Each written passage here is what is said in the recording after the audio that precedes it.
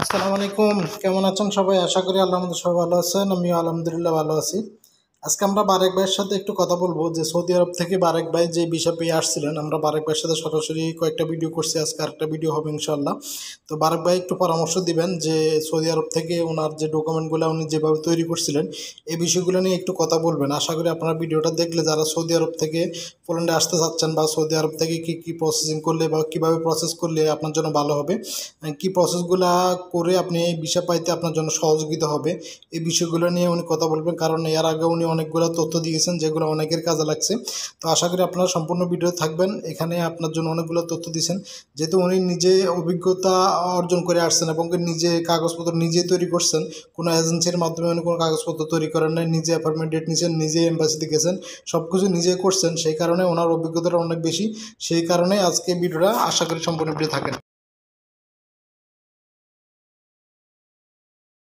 شهركم مبارك وتقبل الله منا ومنكم صالح الأعمال ونحمد الله على بلوغ هذا الشهر الكريم ونسأله سبحانه أن يجعله خيرا وبركة علينا وعلى عموم المسلمين আমাদেরকে কিছু পরামর্শ দিবেন বিশেষ করে সৌদি আরব থেকে আহ, যারা আসছে বা সৌদি আরব থেকে যারা আসবে তাদের ব্যাপারে একটু পরামর্শ দিবেন ভাই সৌদি আরব থেকে আসার যে সুযোগ সুবিধা বা কাগজপত্রের ব্যাপারে একটু পরামর্শ দেন যেহেতু আগেও একবার বলছেন আরও একটু বলেন যাতে আহ, অনেকের উপকার লাগে। সালাম আলাইকুম। সৌদি আরব থেকে আসতে আসলে আপনার সদিচ্ছা থাকতে হবে ভাই। সবচেয়ে বড় কথা হচ্ছে আপনার চেষ্টা করতে হইব। যে আপনি একদিন দুদিন চেষ্টা করছেন এরপরে দেখা যায় আপনার হইল না আর চেষ্টা করলেন না। না ভাই এভাবে হবে না। ফাইলগুলো আপনার গোছাইতে মোটামুটি একটু কষ্ট আছে। যেমন আপনার সিবি আছে আপনি নিজে বানাইলেন সমস্যা নাই। কোম্পানির এক্সপিরিয়েন্স সার্টিফিকেট যদি আপনার থাকে তো আলহামদুলিল্লাহ ভালো, নতুবা নিজে বানাইতে পারেন কম্পিউটারে কোনো সমস্যা নাই।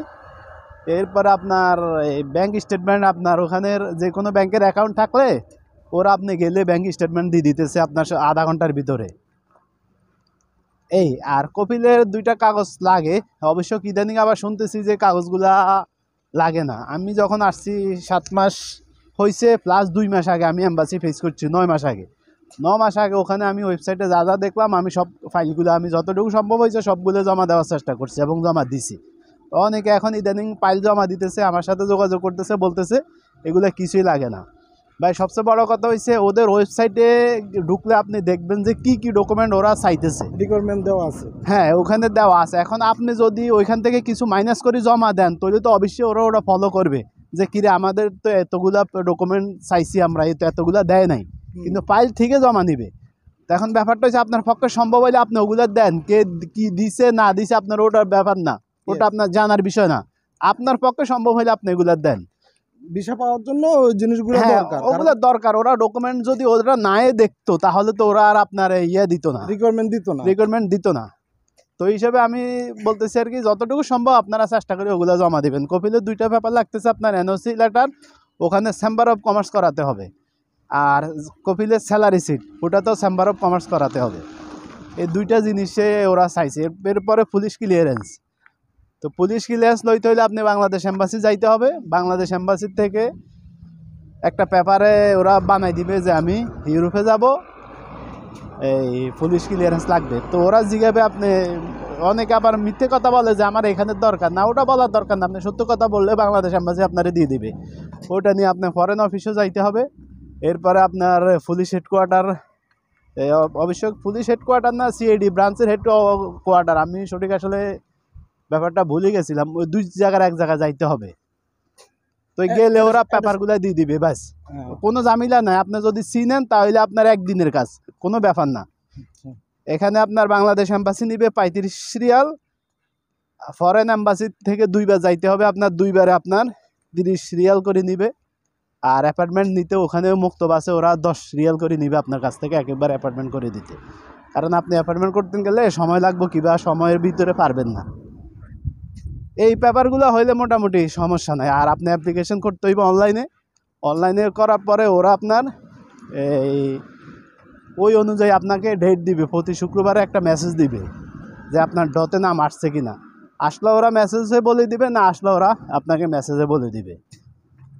এই, আর সৌদি আরবে এখন মনে হয় কিছু অফিস আছে পাল্টেল গোছাই দেয় বাংলাদেশের মতো কিংবা ইন্ডিয়ার মতো। আমার মতে ওইদিকে না যায় নিজে চেষ্টা করলে ভালো হয়। অভিজ্ঞতা বাড়লো আপনার। টাকা খরচ কম হইল। এই। এজেন্সির কাছে গেলে তো ওরা আপনাকে মানে কপি ফাইল বানাই দিব আরেকজনের ফাইল দেখে দিকে হ্যাঁ কপি করে বানাই দিব।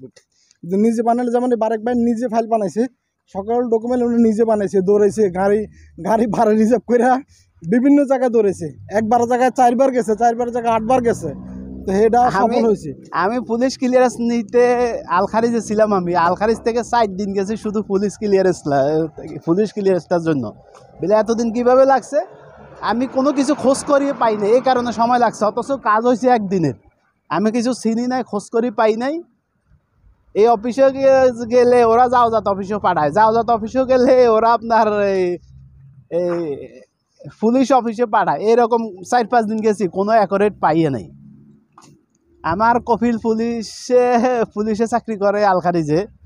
পুলিশ সুপারের ফিয়ন ওনারেও জিজ্ঞেস করছি হেও বলতে পারে না যে দেখ তোকে এটা কোত্থেকে দেয় আমি সঠিক জানি না। যাক আল্লাহর মধ্যে আপনাদের দোয়ায় মোটামুটি পাইছি সমস্যা নাই। ভাই লাগে দোয়া আর কি। ভাই কাগজপত্র সব রেডি করে চলে আসলো। কিছু এরসি কাটা হয়ে গেছে দেখেন।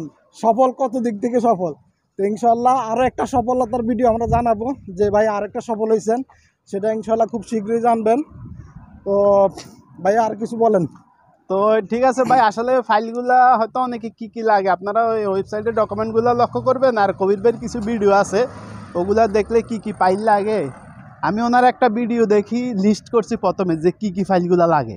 আমার কাছে আমার কাগজ এটা এখনও সম্ভবত ফাইলের সাথে আছে নিজে হাতে লিখছি কি কি ফাইল কি কি লাগে। এটা এটার জন্য সহজ একটা উপায় হলো মানে ফোলেন এম্বাসির সৌদি আরবের যে ইয়ে আছে চেকলিস্ট আছে ওই চেকলিস্টটা বের করলে সহজ হয়ে যাব আর কি।